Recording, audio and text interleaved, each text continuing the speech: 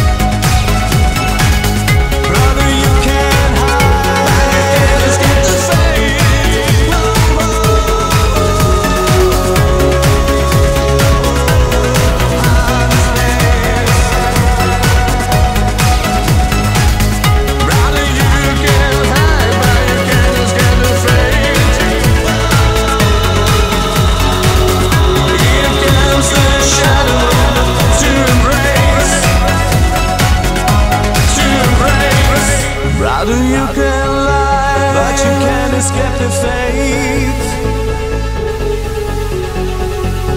It's time to meet each other face to face. Just face to face.